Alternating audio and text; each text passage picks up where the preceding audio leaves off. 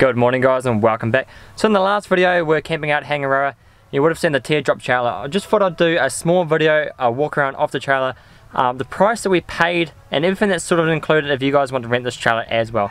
We did rent it locally from the Sunshine Coast from a private user.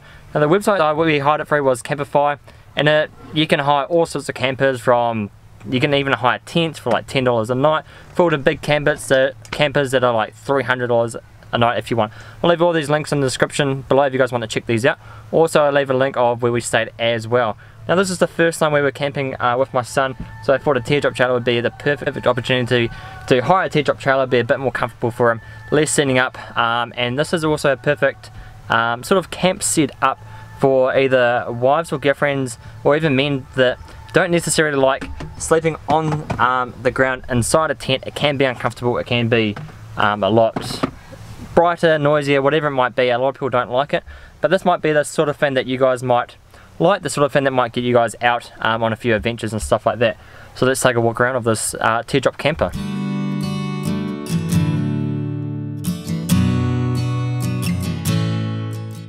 Alright, so on the back of the teardrop you've got the kitchen, some people call it a galley, whatever you want to call it, it's your cooking space. It's got your fridge, it's got your cooking stove, um, it's got all your storage for all your food supplies, um, and a lot of the stuff they actually supply, they supply all the knives, uh, tongs, cups, plates, everything like that, which is awesome. There's only minimal stuff you need to bring, like your food.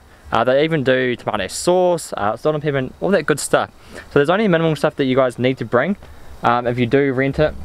This is the back setup. Obviously we've got some sausages on the barbie. Got a beer open. It's pretty spacious. Um, the back of it also offers a bit of sun protection as well, or weather protection if it is running, which is always a benefit. So on the inside you've got your dual burner, uh, just a Gen 4 wheel drive uh, dual burner, which is really easy to use. We're just cooking up a couple sausages at the moment. We've got like a nice low heat. Uh, then inside we've got a few different cupboards. You can do all your um, crackers, biscuits, whatever you want, dog food. Um, some of the stuff is already supplied, other stuff isn't. Now if you if, if you guys are going to Hangaroa, I'd recommend bringing some pretty strong mozzie repellent. They are pretty bad out here. Um, they will kill you. Um, one on either side um, goes all the way through, which is pretty good. This is stuff they supply: tea, coffee, um, some bug spray, sauces, some just some general stuff. Obviously, our, um, those are our Weet-Bix. Um, tea towels, stuff like that, which is always good and those lockups they're nice and secure don't go anywhere. Uh, you've got the solar converter up there so you can monitor how many amps you're putting out. Um, you've got a light under here as well which is great for nighttime cooking. You've got a 12 volt uh, 24 volt um, output as well. Fire extinguisher fire blanket and you've also got an outside light on both sides as well. Down the bottom you've got uh, one drawer. Um, and they just uh, click into place which is awesome knives, forks, same on the bottom one, uh, a couple other things, bug spray, first aid kit and stuff like that, rubbish bags. Uh, now that one's a little bit sticky so you've just got to yank it out. Pots, pans, stuff like that, pretty ordinary stuff for a kitchen. And cups and stuff like that, which is pretty awesome. They supply quite a lot of stuff. Um, and then you've got a pretty big, big fridge as well, which is fully built in. Runs at about 5 degrees um, all the time. Will go up slightly when you put that warm stuff in there. But it's a decent size, got all our snacks, chocolate, beers, uh, kids yogurt and stuff like that inside it. Plenty of room though, uh, which we are quite surprised about. Uh, really happy with it as well, and it runs all the time. It won't turn off, which is awesome, even if you lose uh, power to the rest of the car, like your lights and stuff like that, that will still be running, which is awesome. Um, that's pretty much in the back, it's a really nice setup, very spacious. Love this, how you got a nice um, weather protection, sun protection, and everything like that. It's pretty awesome. So that's back of the uh, teardrop trailer, um, the cooking area, whatever you guys want to call it. That's the back of it and it looks pretty damn cool. Very useful. Um, pretty much everything you need inside a kitchen uh, for when you're out camping and enjoying some sunny days. So let's go into the rest of the trailer. Alright, so on the outside you can see the bright orange paint with the Diesel Dog Camping logo down the side and the dog on the back and the sides as well. Now on the teardrop sort of pivot part you've got three massive solar panels um, and down here you've got the you've got like a dirty gear bag that's got like the floor mats um, and everything in like that. Um, obviously you've got the tow hitch and everything like that so it's pretty pretty self-explanatory and stuff like that. Um, it's it's not lifted at all. Um, it's a good size.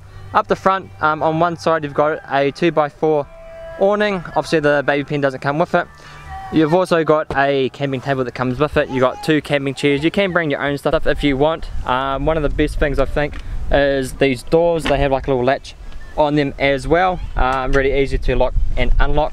Um, and you also got fly screens on them as well. So you can actually detach the fly screen um, like that. And you've got fly screens on both doors that lock so you can have that nice and open um, and also let the hot air out as well.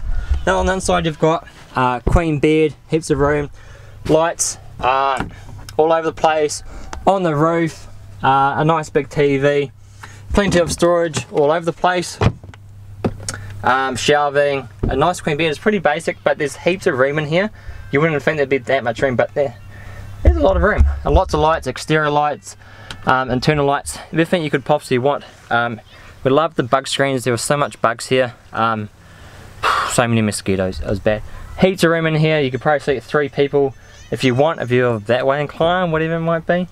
Um, but heaps of storage in here. Love the TV uh, nice big comfy bed. Uh, you do have to bring your own sheets uh, which is fine. They do provide a couple of pillows but you got hooks lights lights all over the place. It's fantastic. Heaps of room. Um, but that's pretty much it. Um, you guys saw the galley the kitchen. Pretty basic trailer really. Uh, nice setup. Perfect setup for camping lightweight, um, e really easy to tow, and really affordable. Um, now price was $75 a night. There's a minimum of a three night rental which is uh, fine. Um, if you guys need any less, they, they're really flexible with stuff like that. It will just cost a little bit more, it won't be 75, it'll be about 85. So that's um, pretty affordable and that's pretty much it. A few service fees on top which is I think about $30 um, which isn't too bad at all. So it's really um, cheap, a lot cheaper than going to Airbnbs. A lot of Airbnbs are getting really expensive nowadays, so this could be a much cheaper option for you guys to get out, explore some of these um, awesome spots you have in your backyard. But that's pretty much it. Pretty much it for today guys. If you like this video, smash that like button if you haven't already, smash that subscribe button. If you guys want to rent one of these teardrop trailers, have a link in the link, have a look in the link uh, down below in the description. Set yourself on an adventure um, if that's what you guys want to do. It's really easy, really comfy. Uh, it does get a little bit cold um, at night inside. Might get a little bit hot in summer because it doesn't have any fans in it. But those are really the downsides. But that's pretty much it. If you guys like this video, smash the like button. Thank you guys so much for watching. I'll see you guys next time.